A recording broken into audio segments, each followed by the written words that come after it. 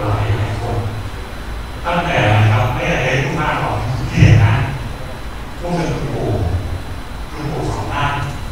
คุณพี่คุณลุงคุณอาคุณอานะครับ และคุณลุง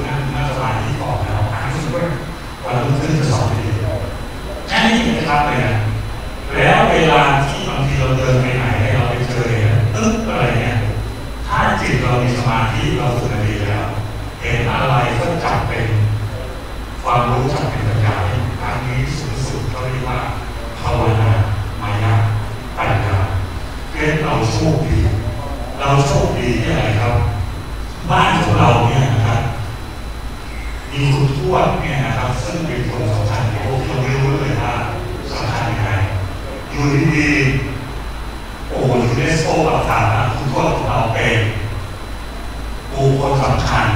องค์คลที่อะไรครับสร้างสันติภาพในโลกครั้งเมืองต้นน้ำที่มาสานสร้างให้โชคเก่งไหนโชคดีไหนทำไมโชคถึงได้ขออนุญาตพูดอย่างนี้นะมารยาทที่เรียนบอกมีคนพูดสอนการพูดแต่นี่เราเราต้องเอาไปดีริเลยนะแต่คุณพ่อของเราเกิดแม่คุณคุณโอ้เรารู้ว่าดูคุณพ่อว่าคุณพ่อดีอย่างไรมีอะไรที่ทำให้คน จอมรับทั่วโลกแล้วสิ่งที่เป็นมรดกที่คุณก็ทำให้นะมันใช้ประโยชน์อะไรบ้างถ้าคนที่ทำตามคุณก็แล้วไม่ใช่เป็นคุนคนที่มีจิตใจสมาธิแต่เป็นคนเก่งที่มีปัญญาในการทำทำด้วยเป็นคุณปู่คุณปู่น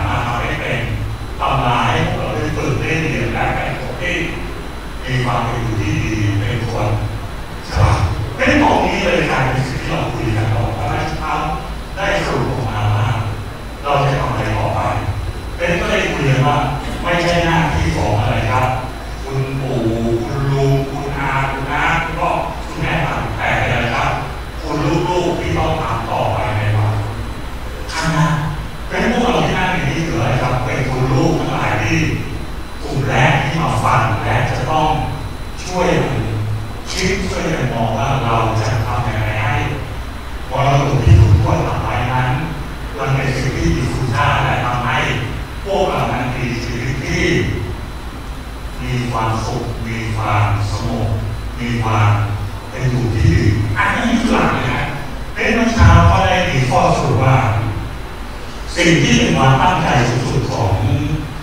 อ่าต้องเรียกว่า คุณคุณปู่อาคงนะขออนุญาตรงนี้ที่ใจจะโกนนะ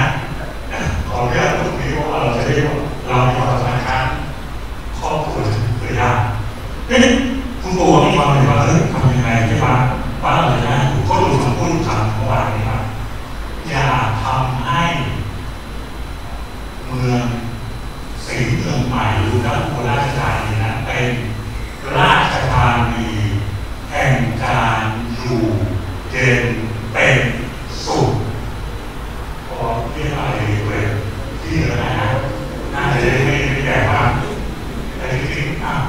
ลูกๆหลายคนพอฟังปั๊บเนี่ยในฐานะคนที่เคย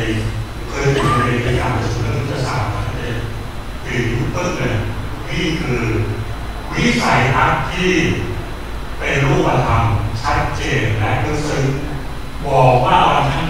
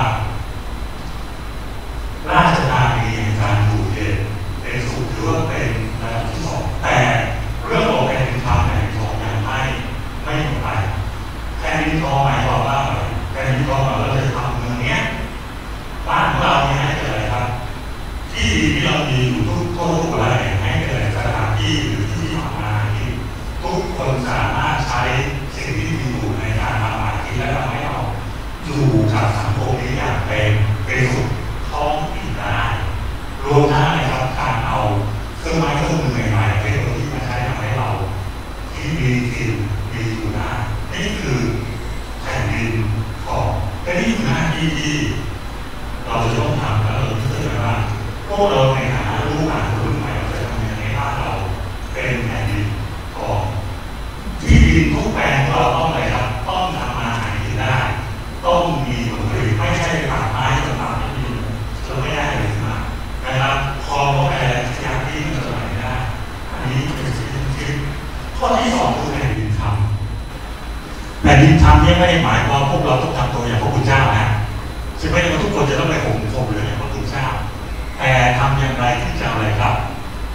เอาธรรมะของพระคุณเจ้าหรือของหลวงปู่แล้วพระพุทธเจ้าที่เขาได้ส่งต่อ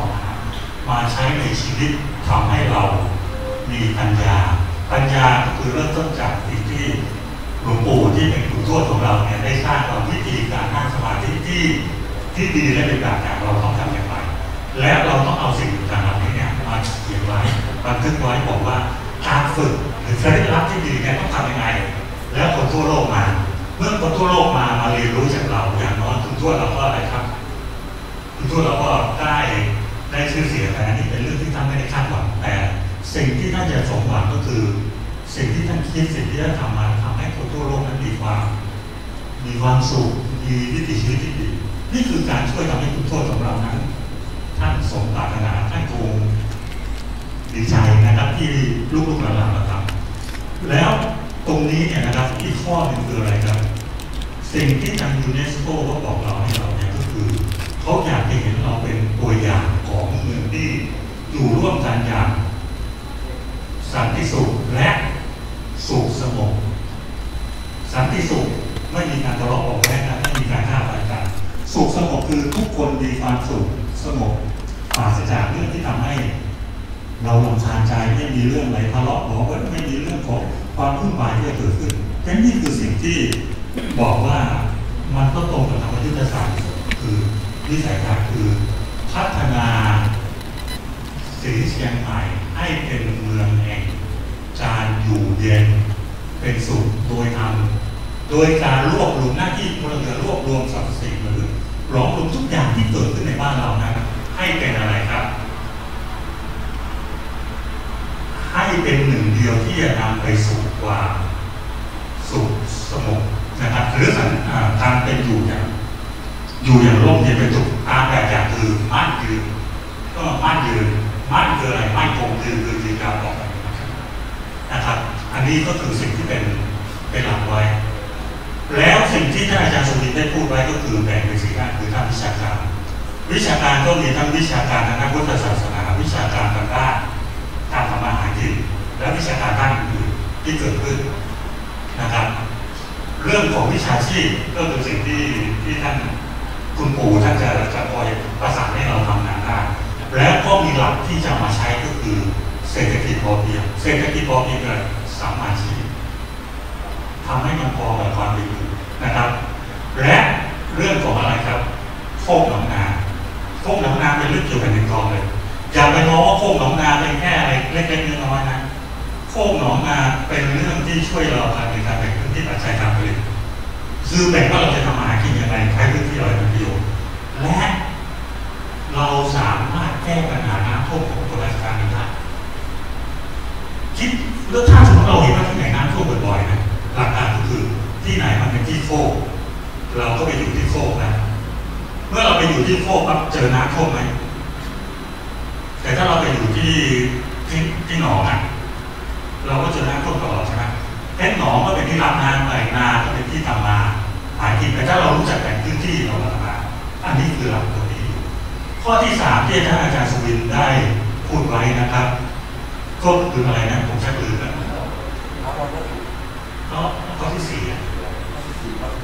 อ่าข้อที่สามคืออาจารย์บอกว่าวัฒนธรรมใช่ไหมเพราะวัฒนธรรมแห่เทียนพรรษาหรืออะไรก็เป็นศาสนาของพุทธเราเนี่ยเป็นพิธีกรรมที่อะไรทำให้คนอยากมาทำให้เมืองเรามีเสน่ห์ นะครับ ตรงนี้ต้องรักษาไว้วัฒนธรรมนั้นคืออะไร คือสินค้าตัวใหม่ของโลกยุคใหม่ถึงแม้มีเทคโนโลยีอะไรก็ตามถ้าไม่มีวัฒนธรรมไม่มีคอนเทนต์ไม่มีเนื้อหาทำอะไรไม่ได้ เป็นวัฒนธรรมถือเป็นเรื่องสำคัญความเป็นตัวตนของคนผู้คนเป็นเรื่องสำคัญที่เราต้องรักษาและใช้ประโยชน์คราวนี้ผมขออนุญาตอาจารย์นะครับถามว่าวัตถุขอเปลี่ยนเป็นคำใหม่บริบูรณ์ได้ ใช้คำว่าภูมิสถาบัน คือหมายถึงเมืองทั้งเมืองก็เลยมีการออกแบบอย่างดีว่าที่ไหนจะใช้ประโยชน์ยังไงตึกไหนถึงจะดีนี่คือสี่เรื่องที่ทำพร้อมกันได้เพราะตรงนี้คือสิ่งที่บอกคร่าวๆว่าว่าเช้าเขาสุขอย่างไร และคงไม่ได้จบลงในวันนี้ วันนี้เป็นเพียงความเริ่มต้นที่ที่พี่บอกกับน้องๆว่าลุงจะบอกเลยคุณคุณลุงคุณป้าทั้งหลายนะครับว่าต้องคิดกันอย่างนี้ แล้วช่วยกันคิดต่อแล้ว ลูกๆหลานๆทั้งหลาย ช่วยกันเดินออกมา ช่วยกันมองว่าสิ่งที่ที่ช้างพูดนี้เป็นจริงไหมเราจะช่วยกันทำบ้านเราให้เป็นเมืองที่อยู่เย็นเป็นสุขไหมแล้วก็ช่วยคุณปู่ทำให้สำเร็จ เพราะคุณปู่ทำเพราะรักพวกเราก็คงขออนุญาตเกินเวลาไปมากแล้วนะครับอาจารย์ครับ ขออภัยหมื่นหมื่นๆครั้งนะครับ